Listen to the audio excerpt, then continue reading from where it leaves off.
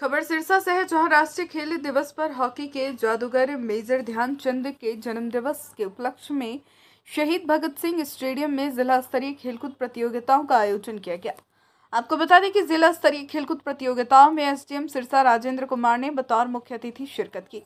इस अवसर पर हॉकी, बास्केटबॉल, वॉलीबॉल आदि खेल प्रतियोगिताएँ करवाई गई।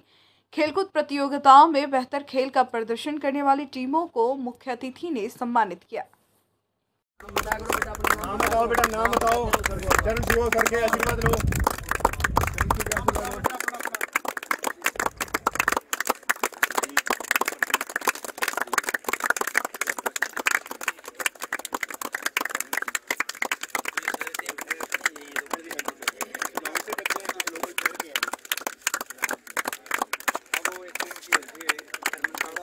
तालियाँ बजती रहे भाई तालियाँ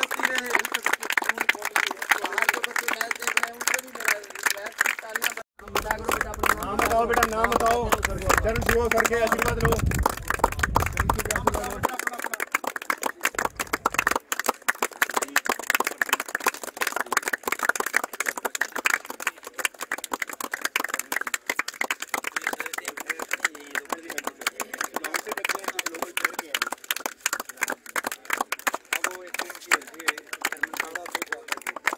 तालियाँ बजती रहे भाई।